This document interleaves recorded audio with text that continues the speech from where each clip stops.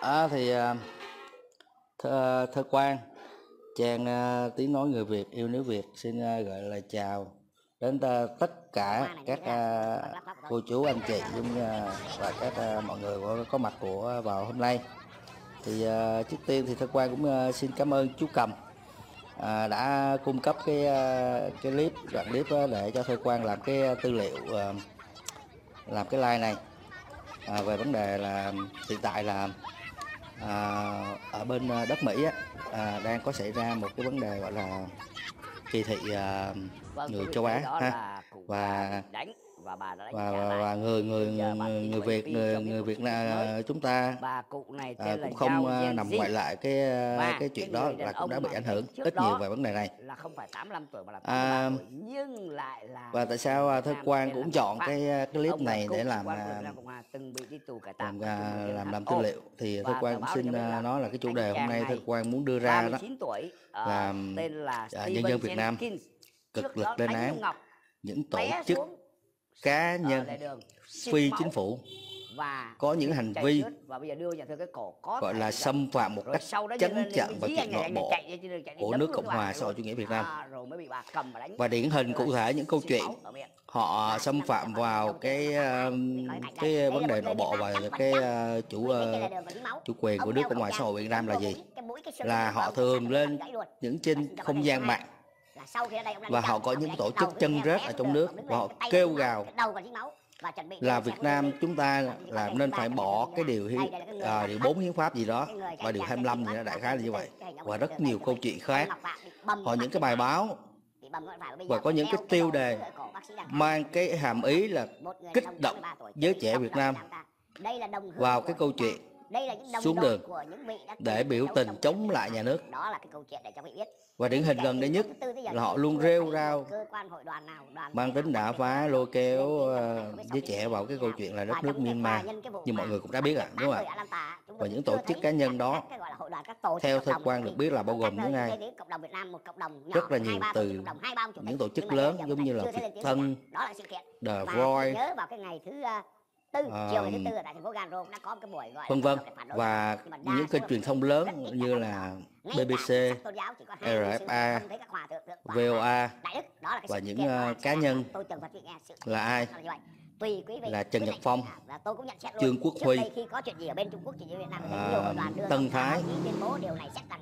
Benny là Trương nhưng vụ này thì chưa thấy xét rằng. Và là bên Canada thì có ờ, Việt 83 Lai là và đại diện là cô Thanh Tâm ha Jenkins như mọi người cũng biết là rất 39 nhiều rất nhiều những cái cá nhân đó. Ờ, thì ờ, bà họ thường xuyên làm những cái livestream và những cuộc nói chuyện. à, và hàm ý là kích động kích động và can thiệp vào cái chuyện nội bộ của nước Cộng hòa và xã hội chủ nghĩa Việt Nam chúng ta. thì Thức máu Quang muốn làm cái chủ đề này để mọi người 83 tuổi, một cựu sĩ quan của vào cùng nhìn nhận. và cùng đưa ra những cái góc nhìn nào đó về những tổ chức và những cá nhân đó thì à, như hôm qua thì thơ quan cũng chia sẻ cái quan điểm cá nhân của mình trên diễn đàn của Dương Vi theo thơ quan được hiểu với cái hiến chương của Liên Hợp Quốc đã quy định rất rõ ràng là một quốc gia chúng ta không được quyền can thiệp xâm phạm vào chuyện nội bộ của một quốc gia khác với bất cứ hình thức nào đúng không ạ? Thì thôi quan chỉ xin nói với một tầm cỡ như một cả quốc gia thì đã liên hợp, à, liên hợp quốc đã cái quy định rõ ràng như thế. Thì tại sao những cái tổ chức phi chính phủ những cái cá nhân đó họ lấy cái tư cách gì và họ lấy một cái quyền hạn gì mà họ kêu gào như vậy? À, thì thơ quan cho rằng có thể là họ lách luật họ lách luật với những nước sở tại họ đang ở để họ họ là làm lén sau lưng họ âm thầm họ làm. Thì ở đây nếu mà như vậy, thì với góc nhìn của thơ quan thơ quan cũng xin lên án các nước đó. Bởi vì sao? Bởi vì các nước đó đã có hành vi là dung túng, bao che cho các tổ chức, cho các cá nhân này, âm thầm chống phá một nước khác thì ờ, đối với thư quan thư quan rất là kính mong nên những cái điều này đã truyền đến tai được những cái ờ, nhà nước, những cái chính phủ đó. Rất mong là họ lắng nghe và họ xem xét. Xem xét cái gì? Xem xét ở đây là những cái tổ chức, những cá nhân đó đã âm thầm vi phạm hiến pháp hoặc luật pháp của đất nước sở tại đó. Với mục đích làm một cái những tổ chức. Thực quan cho rằng phản động và khủng bố, nhằm vào đất nước Cộng hòa xã hội chủ nghĩa Việt Nam. Bởi vì ngay cả một công dân của nước Cộng hòa xã hội chủ nghĩa Việt Nam và cả đất nước Cộng hòa xã hội chủ nghĩa Việt Nam luôn tôn trọng những hiến chương của Liên Hợp Quốc thì cũng rất kính mong các quốc gia đó cũng nên tôn trọng những gì mà các quốc gia đó đã cam kết với Liên Hợp Quốc bằng hình thức là nên tìm hiểu về những tổ chức những cá nhân này và có động thái chế tài họ hoặc tối thiểu là có những cái hành hành động ngăn cản họ không được tiếp tục có những hành vi những hành động chống phá về nước cộng hòa xã hội chủ nghĩa việt nam nữa dạ yeah. cái đó là cái uh, cái quan điểm của thơ quan và để ờ, tiếp tục thì ờ, Thức quan xin ờ, mời tất cả mọi người cùng lên chia sẻ về cái điều này từ cái góc nhìn của mình để cho cái tiếng nói của người dân Việt Nam nó được lan tỏa rộng rãi hơn. Đúng không ạ? Thì rất mong cái sự chung tay của những người công dân nước Cộng hòa xã hội chủ nghĩa Việt Nam và kể cả những người ở hải ngoại nhưng mà gốc Việt. Đó những kiều bào ở hải ngoại mà có tinh thần mà xây dựng về đất nước á, thì cũng rất mong rất mong lên uh, chia sẻ về cái vấn đề này. Và thưa quan xin mời ạ. Dạ con xin chào chú. Hello. Thì dạ. à, bên này cũng là tối rồi. Dạ. Để, để cho nó sáng. Khuya hả chú à dạ khuya bên đó hơi khuya. Khuya rồi. Dạ à, cảm ơn gì- chú đã đã, đã cho cái clip này nha. Đã, đã, đã chia sẻ cho Ừ, cái cái clip đó- này để con làm được lại. đó là một cái bằng chứng mà mình phải nói một cái điều vậy là dạ. à, những người Việt mà bên này nó chỉ có một cái cái là nhìn thiển cận. Có nghĩa là dạ. họ chỉ à, mình nói một cách à, giống như nãy bài nói có nghĩa là khôn nhà mà dạy chờ. Còn có một cái clip nữa có nghĩa là ta mới đi đăng BBC nó đăng lên thì trong đó ở cái thành phố gì ta? Thành phố gì thì nó đang biểu tình những người gốc Á đang Ừ. biểu tình trong đó gồm Đại Hàn Trung Quốc Philippines tất cả những người dân hóa đi biểu tình để mà phản kháng lại cái um, cái cái cái um, cái uh, cái sự mà coi như là mà đây. À, ta đọc cho sau vụ xả súng giết chết 8 người trong đó là 6 người Mỹ gốc Á tại Atlanta hàng trăm người đã đổ xuống đường tại Mỹ để để biểu tình và phản đối nặng thù ghét người châu Á. Bạn Dạ. có bạn đã bao giờ trải nghiệm bị phân biệt đối xử tại nước ngoài chỉ vì bạn là người châu Á chưa?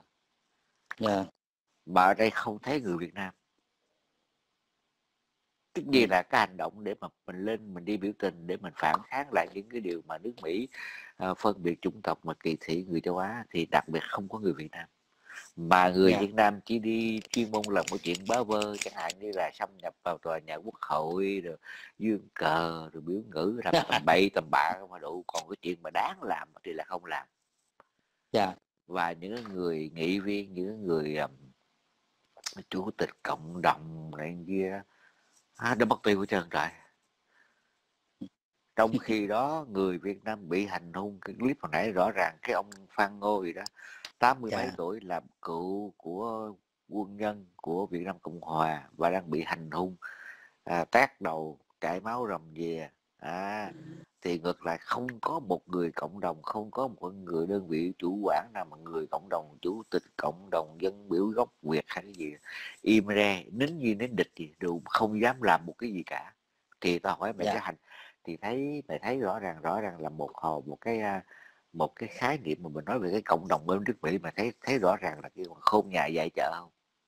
Chính Rõ xác chú cái câu đó rõ ràng chính xác chứ không có chạy đâu trên dạ. Trong khi đó làm những chuyện bá vơ sủa chĩa mỏ về Việt Nam mình sủa bậy bạ sủa không có bằng cớ sủa không có ờ, giống như kiểu hai ông già ở trên những người đồng đất TV là không biết tất tần tật gì ở Việt Nam cả mà cứ sủa dạ chỉ đúng đúng rồi. rồi mà trong khi đó ở tại nước Mỹ họ là người Việt họ là người Việt. Người Việt bị tấn công người Việt bị ăn hiếp người Việt thì họ lại im thinh thích không có một cái người nào lên phản tiếng.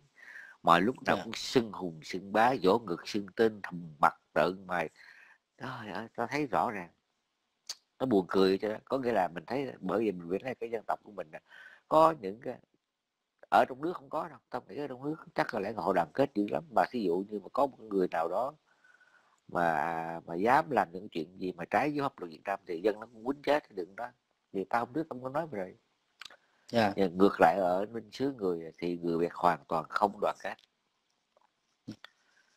Mà đã không đoàn kết rồi mà lại hay đòi hỏi nó mới là ghê chứ. Dạ đúng đủ, mà, bà, bà không phải hỏi mà đòi hỏi không phải ở nước Mỹ nếu nó ở Mỹ dạ sinh sống như tao tao đòi hỏi nước Mỹ nó phải vậy dạng vậy thì còn có lý.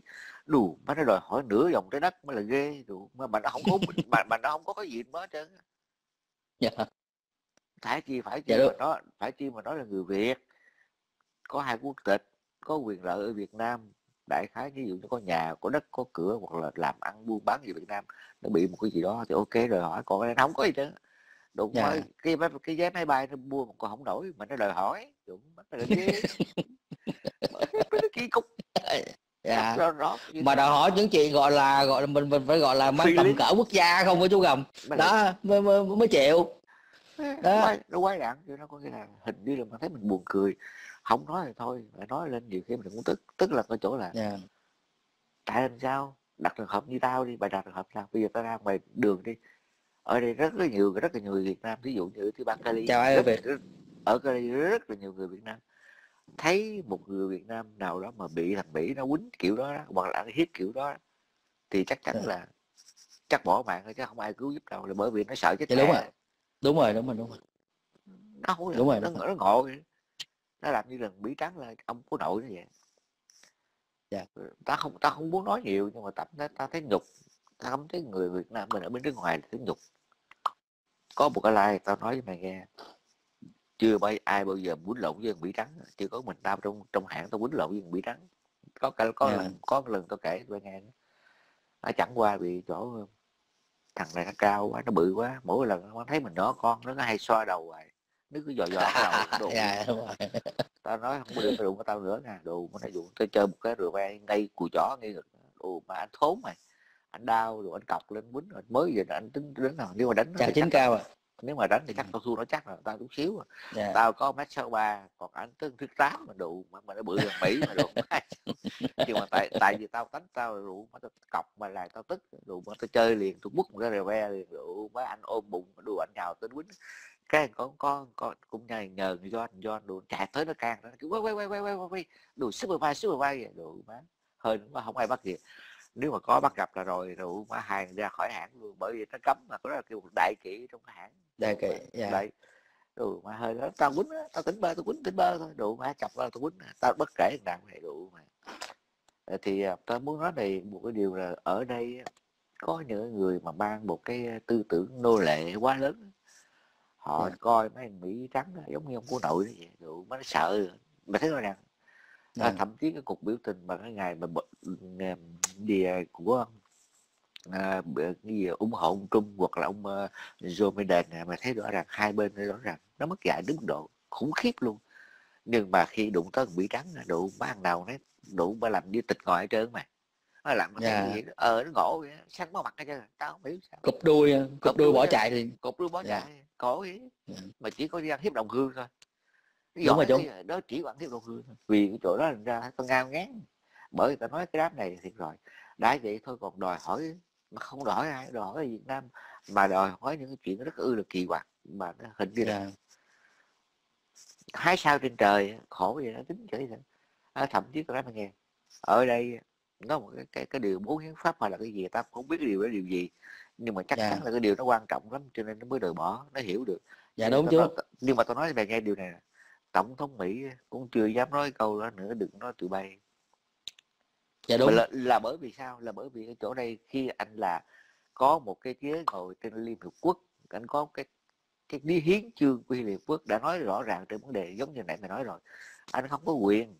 Anh hiểu không? Dạ dạ. Cho nên vì chỗ ra ra cỡ gì tổng thống Mỹ mà chưa được đụng tới đừng nói cỡ gì tép riêu tụi bay. Trời mà tụi bay nói những cái chuyện mà hầu như ta thấy nghe nó trái tai gai mắt Đó- đó thiệt tình quá nhiều cái buồn cười tức là cái vấn đề ở đây chú cầm ờ, vấn đề chú cầm à, chú cầm mà theo chú cầm á là họ có lợi dụng vào cái câu chuyện họ lách luật. Và lách luật ở đây là gì? Tức là họ về à, họ biết là những nước sở tại họ người ta không biết tiếng việt.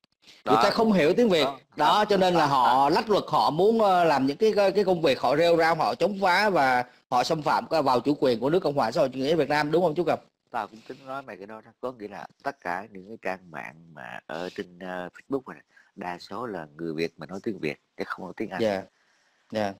Cái nguyên cái cả an ninh mạng của thằng Mỹ này nó khắc ghê ghê khe khắc lắm.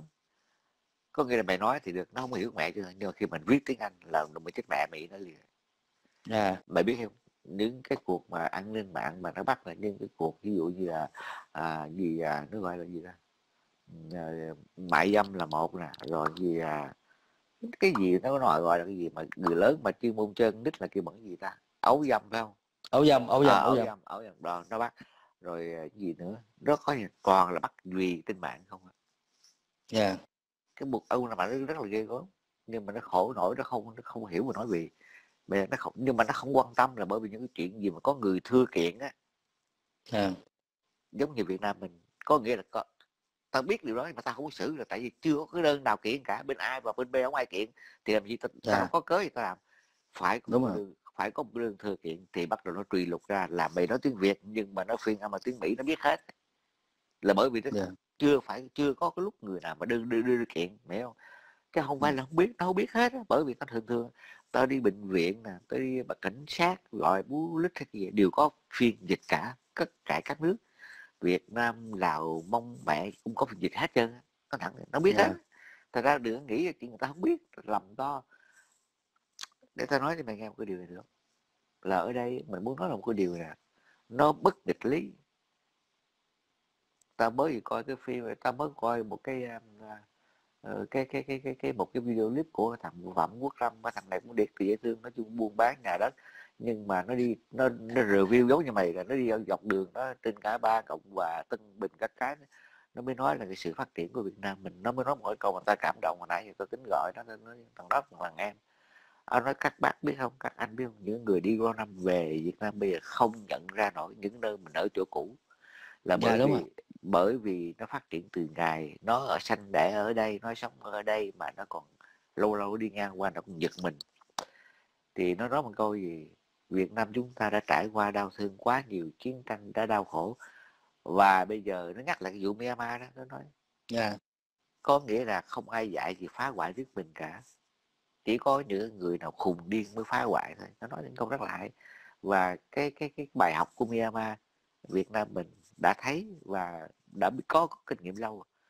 thì Dạ. um, thì mình thấy mình cảm động là mình nhắc cái chuyện đó mình cũng thấy mình tốt mình cũng thì nói về giới trẻ Việt Nam tao thiệt mà tao chấp á.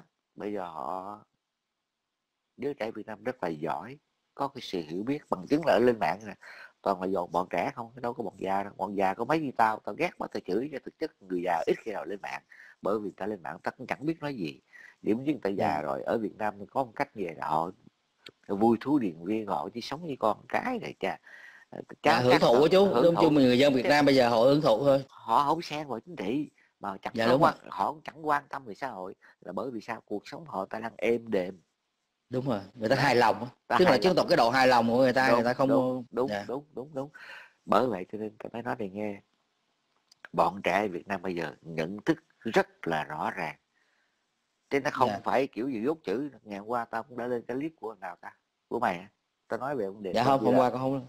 Hôm kia hôm kia phải. Dạ thì tao muốn nói về cái đề cách đây một trăm năm về trước á Việt Nam mình là Dạ. thuộc về diệt giặc giặt dốt dốt dạ đúng rồi giặt dốt nhưng mà bây giờ người Việt mình không còn dốt nữa và Dạ. khi đã thông minh thì Ừ. thông minh vượt trội để ta dẫn Dạ. chứng cho mày nghe ta dẫn chứng cho mày tại sao viên lương nguyện mỗi năm tao nhớ mà thường thường cái bộ giáo dục đào tạo của Việt Nam mình nó cử người đi thi các là toán lý hóa sinh ở thế giới chứ nó không phải là Dạ. thi Việt Nam thường thường khi vậy thì khi trở về đêm tệ lắm phải là ba cái huy chương vàng về vật lý về toán về hóa. Đó là học sinh đó nha. Dạ. hầu hầu như năm nào cũng vậy. Để để tôi chứng tỏ tôi là học sinh Việt Nam học rất giỏi. Và cháu Dạ. tao cháu của tao cháu ruột tao đó đi qua bên này học. Nó nhà nó ở bên tê gì ta? Con ờ, con của ông Vân. Đi qua đây học giao lưu học có tính cách là giao lưu học hỏi đó nó là người Việt qua đây học thì nó chê câu vậy cái độ mà coi như cái sự mà học của thằng Mỹ này nó còn kém xa đối với Việt Nam. Bởi vì thi cũng là lớp đó mà ở lớp 12 Việt Nam thì nó hơn hẳn lớp 12 Mỹ. Là bởi vì học Việt Nam mình nó học cái trình độ trình trình cái kêu cái trình là cao hơn.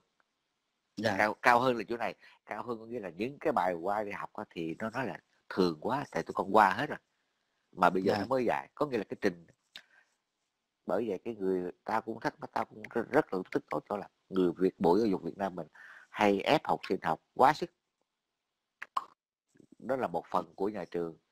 Còn một phần nữa là cha mẹ Việt Nam mình còn phải đi mời dạy mời ờ, giáo viên dạy tại nhà rồi các cái. Có nghĩa là họ vô tình họ ép con con con cái mình ờ, làm việc theo cái kiểu giống kiểu như quá sức nhưng mà thực chất á, bên Mỹ này học cũng phải vậy. Cái trình nó thấp hơn trình Việt Nam có nghĩa là cũng vậy cũng bài toán đó cũng cấp đó dạy phương trình đó các cái nhưng thì nhưng mà nó lại đi sau Việt Nam Việt Nam đi trước mẹ rồi đó. Dạ. à, thành ra cái người học sinh qua Việt, Việt Nam mình đã qua đây du học học rất là giỏi. Mấy thằng Mỹ sợ lắm nói vậy nói cho mày nghe.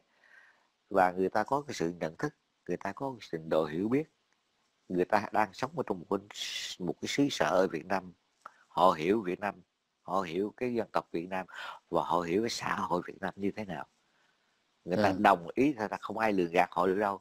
Bây giờ nói Việt Nam mà suối bọn trẻ Việt Nam mà đi ra biểu tình trời ơi đủ bao nhiêu hai sao trên trời. Lý do tại sao biểu tình? Tôi đâu có bất mãn gì đâu tôi biểu tình. Vậy tôi bị suối bạo loạn à. Có mấy thằng điên nó mới nghe tụi bay chứ còn thật ra không ai Dạ. nghe cả. Đúng đó rõ chính ràng. vì vậy chú cầm chính vì vậy chú cầm tức là những tổ chức và những cá nhân đó là cái họ đã xâm phạm cái cái chuyện nội bộ của Việt Nam một cách rất là trắng trợn và thô bạo và đó và là bằng cái hành hành động là hành vi họ kêu gọi những giới trẻ phải à, à, ABCD xuống đường thế này thế nọ chú cầm công nhận với con điều đó không thì đúng rồi nhưng Đó. mà tôi nói những cái những cái thành phần đó những cái tổ chức mà kêu gọi là toàn tổ chức lậu không nó chẳng đại diện cho Dạ. ai trơn nó không đại diện cho ai cả nó không đại diện Dạ. cho bất cứ một cái gì một bất hợp pháp ở Mỹ này cũng bất Dạ. hợp pháp anh đâu có quyền Dạ. đã tao nhắc đi nhắc lại hoài tao nói về cái vụ án vàng phao chưa có nghĩa là khi một đất nước ban giao mật thiết với Mỹ những kẻ nào người Mỹ mà đi chống lại một cái đất nước hiện giờ đang ban giao mật thiết với Mỹ là kẻ đó phạm tội Dạ. phạm tội đây là ví dụ như anh đưa thực lực anh đưa người về anh mang súng đạn về là nó bắt anh ở bỏ tù rồi có nghĩa là À. đó đó là một chuyện có thật mà vô google mày hỏi vàng phao mà đánh cái chữ vàng phao lên là mày biết liền. Ở tù tới chết luôn. Đó. thành ra ở đây nó nước bóng có nghĩa là nó- vẫn là một cái à, à, thí dụ như là ờ, làm một gì đó thì nó che giấu bằng một cách là, là ở đây là cơ quan từ thiện của gì để cộng đồng để cái nhưng thực chất nó hoạt động vậy. Nó coi như là kiểu à, à trâu thịt để để treo đồ dê bán thịt chó vậy thôi chứ thực chất không có mẹ gì rồi nó thẳng Dạ. và nó không đại diện cho ai nó không đại diện cho bất cứ một tổ chức nào cả. Đúng Dạ, con có con có một cái góc nhìn này chú cầm không biết là chú cầm thấy thế nào. À, tức là con đồng ý là những nước sở, sở tại như Mỹ châu Âu hay là họ không hiểu tiếng Việt. Đúng không? Nên họ không can thiệp thì con con ờ, cái đó là một góc. Và con cũng có một cái ánh nhìn khác nữa là tức là nhiều khi ờ, về vấn đề họ tức chắc chắn là phải họ có an ninh để giám sát cái gọi là cái không gian mạng và con tin rằng á, là bên an ninh họ cũng hiểu họ cũng biết được. Nhưng họ thấy rằng những cái vấn đề này không liên quan về nước sở tại. Đúng. đâm ra có một vấn đề nào đó họ lơ luôn. Đúng, không rồi, chú cầm? Đúng rồi. Đó cho nên chính vì vậy họ- con họ có một phần nào đó là họ- con cũng muốn lên án những cái nhà nước đó. Đã có mình- những mình- cái hành động mình- gọi là dung túng mình- họ dung túng mình- những cái tổ chức đó. mình lên án thì nhiều đôi lúc nhiều cái nó cũng hơi khập khiễng chỗ này. Bởi vì họ Dạ. không không quan tâm. Bởi vì ví Dạ, họ không quan tâm đến, họ không quan tâm. Tại bởi vì sao? Tại vì mày nói tiếng Việt mà mà nó đâu có tiếng Anh đâu Dạ. mày hiểu không? Cho nên vì cho nên ra nhiều khi họ không quan tâm không quan tâm. Nhưng ta nói với mẹ chưa có ai khởi kiện hoặc đưa chưa có ai để giấy lên cái chuyện đó nó đánh động đến cái cơ quan pháp luật của nước sở tại. Dạ đúng rồi. Rồi ok. Con đồng ý với chú cầm điểm hiểu không? Chứ còn bây giờ dạ con đồng ý. chửi bằng mõm mà chửi tiếng việt ông có nội mỹ để ý làm con mẹ gì? Dạ. thành ra việc đó là buồn cười lắm kệ mẹ. Nhưng mà tao nói cho một cái điều nè tụi bay mơ đi là bởi vì sao? Cái người việt nam không bao giờ mắc lừa tụi bay nữa. Yeah. họ có quá nhiều kinh nghiệm và họ thừa cái điều đó rồi. Họ không bị bắt mưu nữa. Bằng chứng từ xưa tới giờ mày cứ gọi mày gọi. Bắt đầu từ ngày 10 tây tháng 6 năm 1998 mà xảy ra cái chuyện mà bạo động hoặc là để mà thấy rõ ràng bây giờ có ai mà đi biểu tình nữa không? Yeah. Ờ, không ai không ai. Bởi vì sao? Đó là cái lời nói của tụi bay mất hiệu lực hết mẹ rồi mất hiệu lực và tao hôm qua kia tao cũng nói Việt Nam mình miễn nhiễm rồi. Đủ có được cái tự được cái tào lao. Tụi bay ngay ngay cái sự kiện Myanmar này tụi bay tính lôi kéo Việt Nam vô trồng. Trời ơi đủ Việt Nam này tôi nói mày nó đâu có bắt mưu tụi bay được. Trời ơi tụi bay Việt Nam khôn, khôn lắm. Đủ yeah. đâu có đơn giản mà nghĩ và hầu như từ nói một cách nôm na là từ những cái người nào mà nó quá sức bất mãn xã hội là vì sao vì à, nó nghèo đói quá sức và nó không lây làm mà chỉ ngồi thích rồi há mỏ chờ sung rụng thì mấy đó mới là mới nghe lời tụi bay thôi yeah. hiểu không đó là dân chủ cụi việt nam mình đó. ngồi trong chuồng heo mà đi livestream đủ mà chửi bới chính phủ là chỉ có đó yeah. ngoài ra người ta có bàn tay người ta có sức lao động người ta đi phụ hồ người ta đi làm đủ rồi tiếng xấu ta nhẫn nhơ lắm thiệt mà ta ở trên bình kỳ rồi ta về với ăn bình dương những người ở công nhân nhà máy ở của linh xuân á yeah. Nó về nhà là chiều nào nó cũng nhậu với bạn bè hết trơn á. Đâu có nhiêu tiền đâu mày. Hai ba chục ngàn mỗi thằng góp lại là mấy trăm ngàn rồi cô năm thằng nhậu chết mẹ rồi xong rồi đi ngủ ngủ rồi sáng ba đi làm tiếp tục. Họ không bận tâm với vấn đề chính trị. Yeah. đó là tôi nói là thành phần nghèo coi coi như là cái thu nhập họ thấp là công nhân là thấp rồi còn mẹ gì nữa. Người ta không có không không không có đi màng tới cái chuyện kia đâu. Mệt lắm tụi bay đừng có đưa những cái chính trị dỗm tụi bay vô chính trị tụi bay kêu mình chính trị nửa mùa à, chính trị rẻ tiền tụi bay vô mệt quá đó cái thứ nhất hồi nãy ta mới đề cập với là ở nơi đây nó có những cái buồn cười đó khi xâm phạm đụng chạm tới người Việt gốc Mỹ à, người Mỹ gốc Việt tại nước Mỹ sở tại đây yeah. thì nó im vô giống như là nín nín địch vậy.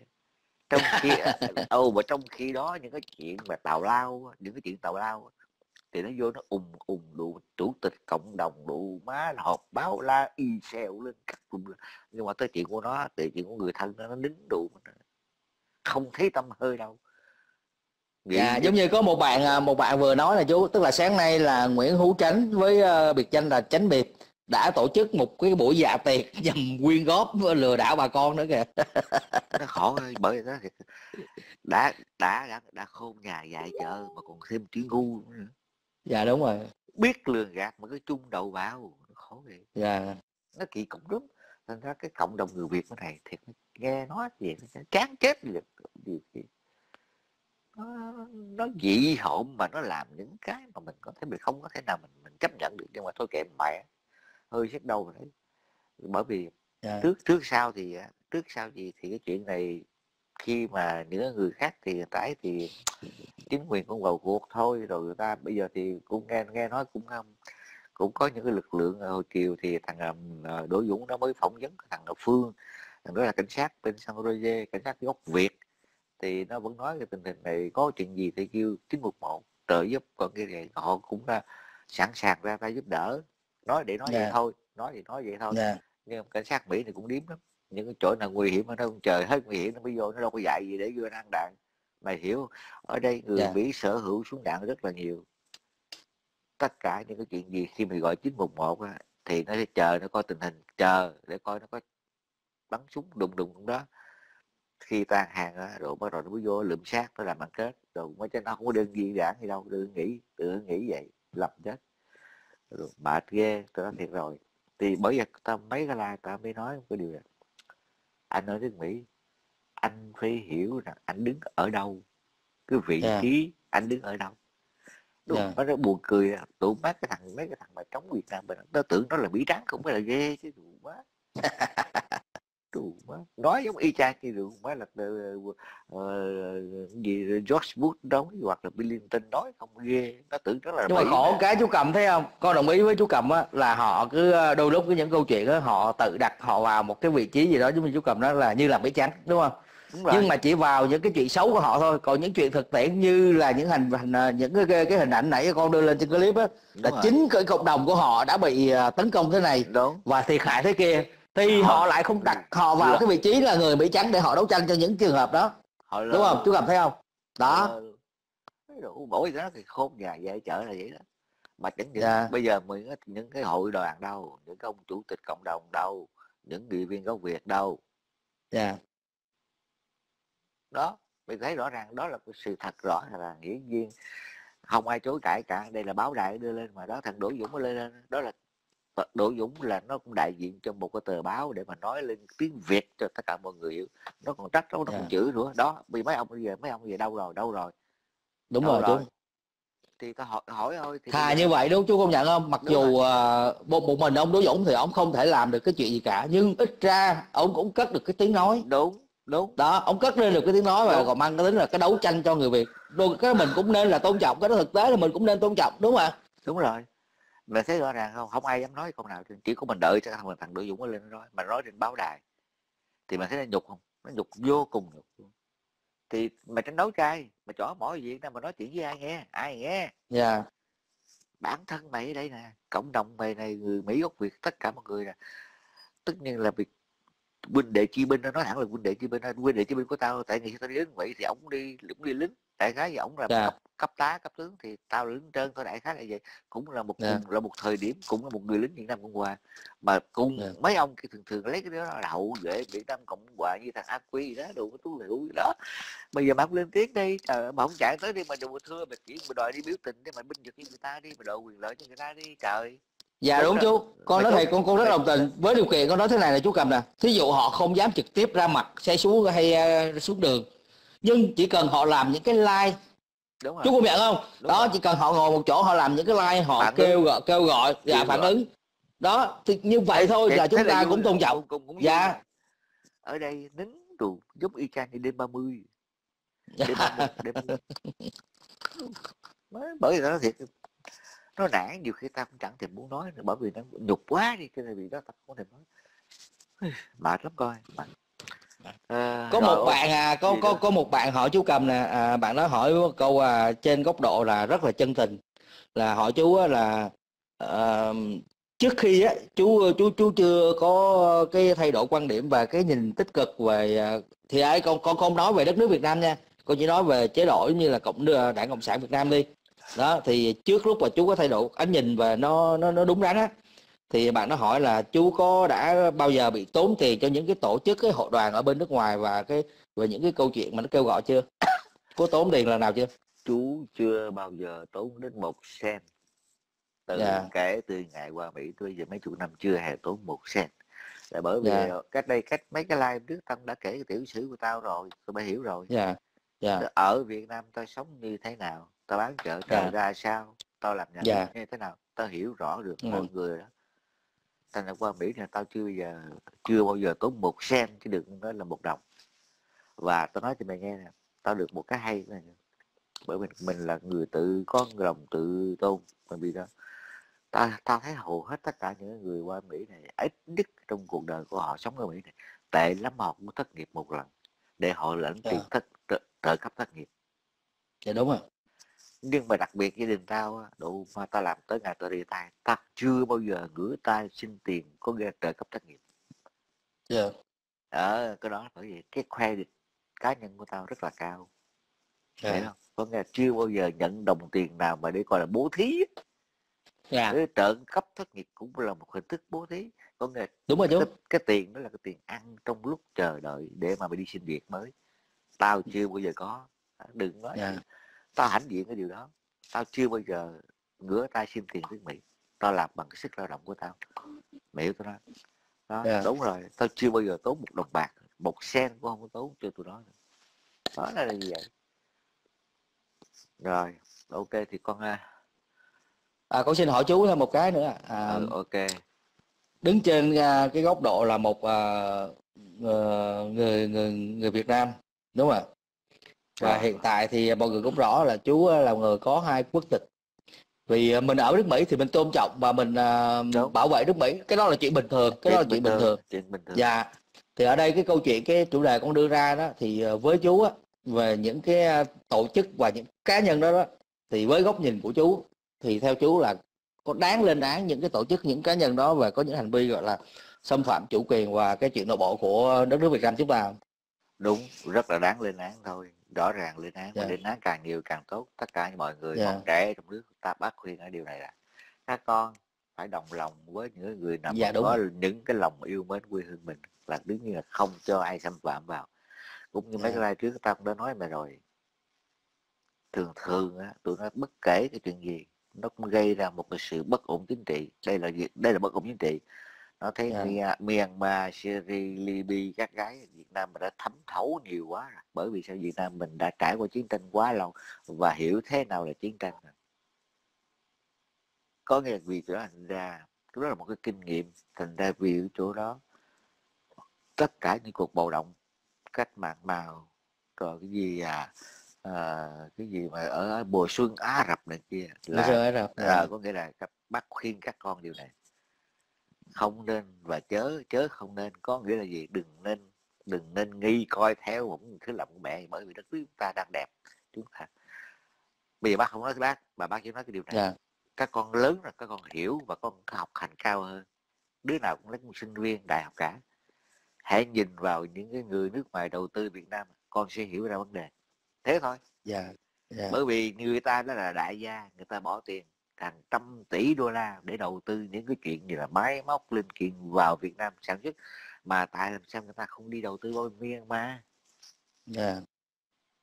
tại sao người Đúng ta chứ. không đi đi qua bao nhiêu là giải đáp được con rồi không cần như bây giờ thích Dạ. nhiều là bởi vì thường thường những người đại gia đó cái đầu của họ không bao giờ ngu nếu ngu thì không làm đại gia được người ta để đầu tư vào Chính xác. những, những cái đất nước không có chiến tranh Có ổn định. Có dạ, ổn định chính trị thì người ta mới Dạ, đầu ổn tư. đơn giản vậy thôi không có mẹ giờ bây giờ bắt Dạ. ta phải dễ nghĩa lý do rồi chủ thuyết này rồi lý này kia cộng trừ nhân kia cái tao nói cũng được nhưng mà tao nói cho mày nghe tao chỉ tụi mày hiểu. Tụi mày cái coi cái lượng người đầu tư vào Việt Nam là tụi mày biết. Dạ. thế thôi đơn giản lắm. Đúng chú. đối với tao đơn rất là đơn giản. Tao không có nói chuyện theo kiểu như một tiến sĩ Nguyễn Quang Nga được. Tao không nói chuyện kiểu đó được. Đủ mang đó là gặp tao Ừ. là tao chửi chết mẹ luôn. Đúng vậy tao tao đủ mà tao nhớ cái cảnh mà nó đủ mình chụp cái hình lên mà đưa tấm bản lên trước ngực. Nó là tôi thách đảng cộng sản Việt Nam làm như Myanmar. Đó làm như Myanmar bây giờ đó hả? Đủ má. Dạ. Ý, trời ơi đó thiệt khổ vậy tôi rất tôi rất ư là nhức đầu mà thường thường bây giờ cũng giống như ông trọng ông nói cách đây cách đây cũng một tháng hay nửa tháng thì ông có một là không đất nước Việt Nam chưa lúc nào mà giống như kiểu như bây giờ đang có cái gì là nở hoa hay gì nói chung là cái gì đang đang đang có cái sự coi như là à, Cơ hội. Cơ Cơ hội. hội, cơ hội. Dạ. Sáng ngời nhất là đúng rồi, ngay bây giờ như ngay bây giờ đời lời Dạ. ông nói đúng lời ông nói đúng ngay bây giờ Việt Nam mình đang có một cái sự ờ, vượt bậc mà một cái cơ hội một cái cơ hội cơ hội và cái cơ đồ rất là sáng sủa. sáng sủa chưa bao giờ Dạ. có ngày như hôm nay Dạ. các con các cháu còn trẻ vươn lên và đập tan lên những cái luận điệu mà tất cả các nước lân bang kể cả thù trong và thù ngoài muốn đất Dạ. nước mình bất ổn mới hiểu cái điều này khi bất ổn các con sẽ khổ cha mẹ Đúng con rồi. sẽ khổ gia Con cháu sẽ nữa. khổ con cháu sẽ khổ đất nước lầm than gạo đéo có ăn nói cho mày nghe mà cái điều đó Việt Nam không bao giờ muốn Dạ. bác nói rất là nhiều rằng cái lai ngày xưa đói khổ như thế nào ta đã nói hết rồi. Đói cẳng chân rung ly mà đi làm không nổi luôn. Trong bụng nước không, có mẹ chưa tao đi nhậu mà ngộ lắm đồ hồi xưa biết không? Đồ cơm thì không có ăn và rượu thì quá trời. Ủa, bà bà già bà chửi tao bà tại làm sao mày không ăn cơm nước mà nó cơm nước đâu ăn bởi khổ nổi đi gặp bạn bè toàn đã rượu mà rượu dỗm rượu mía là rượu đường, mật đường là rượu ờ, rượu gì rượu rượu mà ép ra cái bằng cái vỏ ờ, của trái thơm á nó gọi rồi nó gọi là xịn gì ta? Rượu À, Sitomen gì đó cười lắm. Là hâm bè à gọi là cái cái, gì ta? Cái à, cái gì hòa hiệp á có thời gian uống cái đó dữ lắm. Rồi à, hải âu rồi tùm lum rồi đó Đúng rồi. rồi rồi đó thì đó là cái những một cái giai đoạn mà đất nước mình hầu như là mà xứng dạ đúng. đó. Thôi bây giờ nước nước, nước, nước đất nước mình đang thăng hoa rồi các con nên cố giữ lấy và phát huy. Thế thôi bác chỉ nói vậy thôi chứ còn bác nói nhiều. Còn cái đám bên này đừng nói nữa. Bài học trước Dạ. mắt các con đã xảy ra mà Đỗ Dũng đã nói rồi đó. Có Dạ. nghĩa là người Việt đang ở ở ở nước nước Mỹ bị chúng nó quạch nó quánh phù mỏ mà cộng đồng người Việt mình trốn mất mạng ha Dạ. thôi Đúng rồi đó chú. là đó là một câu chuyện đáng buồn của, của nước Mỹ này đó, mà hôm nay rồi đài BBC cũng đưa lên một cái tin là tất cả cộng đồng châu Á trong đó có Đại Hàn có Nhật nè có Trung Quốc nè à, những người cộng đồng châu Á ở Mỹ nè đi biểu tình để mà phản đối cái vấn đề mà kỳ thị người bà gia không có ông ma ở Việt Nam trơn. Dạ đúng rồi. Sẵn sẵn sẵn chú nhắc về cái việc này. Con con có xem qua và con có đọc mấy cái co- comment ở dưới. Thì cũng có một những luận điệu của những thành phần ở bên đó. Họ trả lời Ừ. một câu như thế này nè. À, chú cao con nghe con rất là thấy mắc cười. Tức là ý là những cái đài BBC họ cũng nói là à, có những cộng đồng họ xuống đường hoặc là Đúng rồi. những ờ, hành vi hành động họ lên án đúng không ạ? Đúng rồi. Thì cái những người Việt ở bên đó đó có một phần bộ phận người Việt đó họ họ comment họ bảo là không có rảnh. Bây giờ chúng tôi lo đi chống cộng rồi mọi người con đọc con đọc được con thấy con rất là tức cười về cái chuyện này chú Mày- thấy không? Được ai thấy ngay đó chú thấy là bản chất bản bản chất của những thành phần đó không? Bà Đó. thấy rõ ràng bà thấy rõ ràng không? Dạ. người thân tôi nói là thường thường á, người Việt ở xa xứ á, phải gom góp phải đoàn kết nhau. Đây là người Việt nha người Việt ở cộng đồng người Việt tại Mỹ nha. mà không bảo vệ nhau được thì huống chi mình đi trỏ mỏ gì Việt Nam nói gì bệnh thì đó thì bởi vậy quay lại cái câu chuyện Myanmar chú thấy rõ ràng không? Trong khi trước đó thì họ lại kêu gào họ kích động người dân trong nước là tại sao không đi ủng hộ một cái nước khác? Chú thấy vô lý không? Chú thấy rất là phi lý trong đây là điển hình nhất là những người Việt của họ và cũng là từng là sĩ quan Việt Nam Cộng Hòa. À, Đối thì họ lại không có à, đó không đấu tranh. Thì họ lại bảo là họ phản bác họ bảo là họ không rảnh. Mày thấy mày thấy tôi nói tào lao nó tào lao đến Dạ. mức độ là hết sức luôn mà Đỗ Dũng đã nói đó đó là một cái cơ quan truyền thông người Việt mà để người Dạ. Việt lên nói. Nó nó hỏi bây giờ nó hỏi gì các ông đâu rồi? Các ông đại diện cộng Dạ. đồng đâu rồi? Các ông mà Dạ. nghị viên người Việt đâu rồi? Đâu chẳng có lên không? tiếng ở trên trời nó hèn nè kết lại một cái câu này nó hèn hết chỗ rồi để mình hèn hèn hết nói hèn hết nói nổi. Thế thôi. Dạ. đó đó là cái bản chất của người Việt Nam bên này đó. Ok? Dạ dạ. Rồi ok chú xuống nha dạ thì con ờ, thay mặt Dạ. cũng mọi người à, đặc biệt là đã cảm ơn chú rất nhiều. Một người lớn tuổi đã trải qua nhiều vấn đề đã dạ đã có sự ánh nhìn và những cái lời khuyên rất là chân tình đến ờ, giới trẻ đất nước Việt Nam đưa cho họ có một cái góc nhìn ờ, sáng suốt. Dạ con Ok. cảm ơn chú rất là nhiều ạ. Dạ tao xuống xin cảm ơn chú. đứa nào mà lên lên là tao lên nữa có gì đâu. Dạ dạ cảm ơn chú. Rồi